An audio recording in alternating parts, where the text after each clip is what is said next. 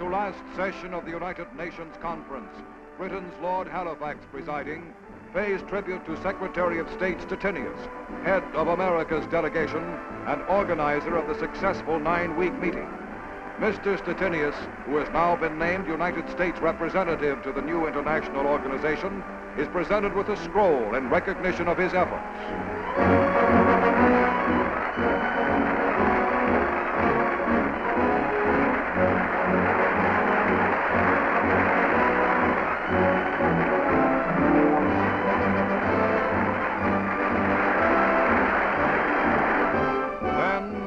History-making moment as Lord Halifax calls for a standing vote on the approval of the Charter of International Organization.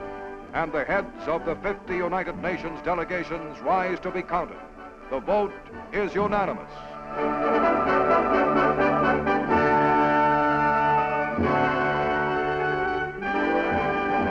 As the session adjourns, delegates burst into applause. The charter of a new world is born. Arriving in San Francisco for the final conference session is President Harry S. Truman. He is met by Mr. Stettinius with the U.S. delegates and the chiefs of the 49 other delegations. Among them, Field Marshal Jan Christian Smuts, Premier of South Africa, and the Prime Minister of Canada, Mr. Mackenzie King. President Truman leaves for a brief tour through San Francisco. His is the first visit to San Francisco by a chief executive in seven years. Half a million citizens turn out to hail the presidential motorcade.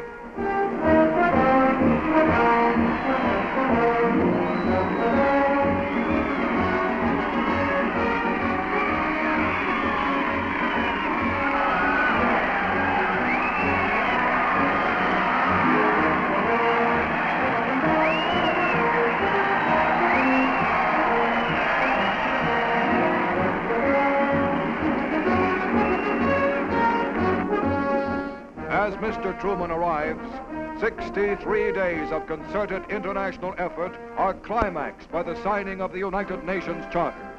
First to sign is China, the first nation that suffered Axis aggression. Dr. Wellington Koo signs with a traditional Chinese brush. The delegation of the Soviet Union, Ambassador Andrei Gromyko, signs for Russia.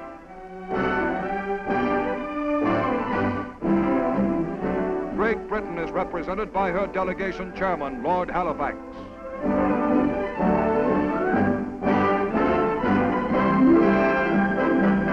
The Republic of France, acting delegation chairman, Joseph Paul Boncour.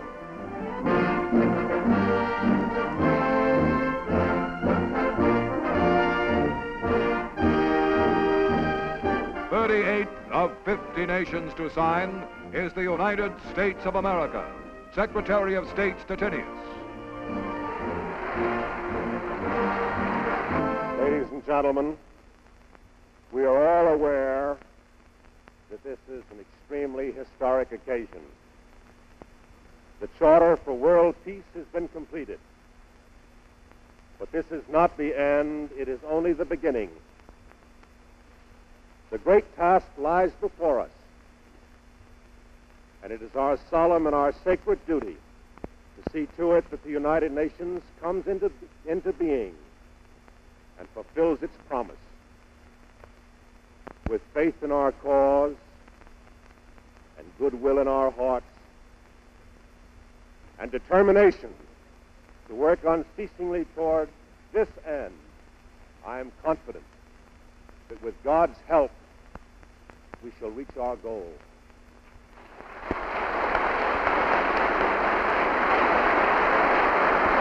Senator Connally is next to sign for the United States. Senator Arthur Vandenberg.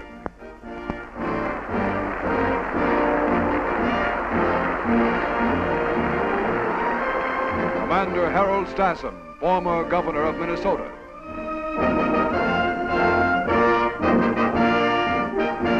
A vital and a difficult job, well done.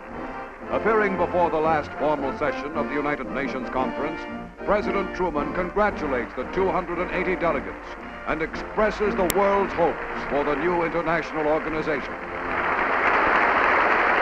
The Charter of the United Nations, which you are now signing, is a solid structure upon which we can build for a better world. History will honor you for it.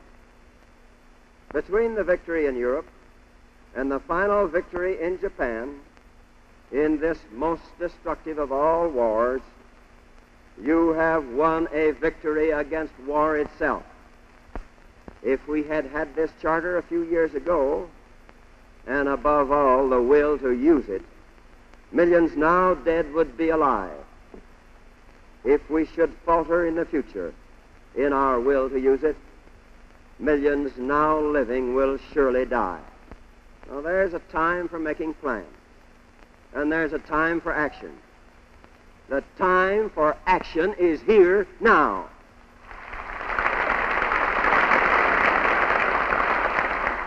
Let us, therefore, each in his own nation and according to its own way, seek immediate approval of this charter and make it a living thing.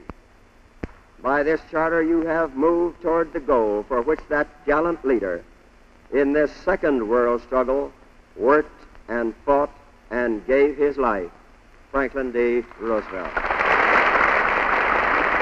This new structure of peace is rising upon strong foundations. Let us not fail to grasp this supreme chance to establish a worldwide rule of reason, to create an enduring peace under the guidance of God. On a note of enthusiasm unequaled among nations in all history, the San Francisco Conference is adjourned. In the United States Congress and among free people everywhere, the efforts of the chief architect of the United Nations are remembered.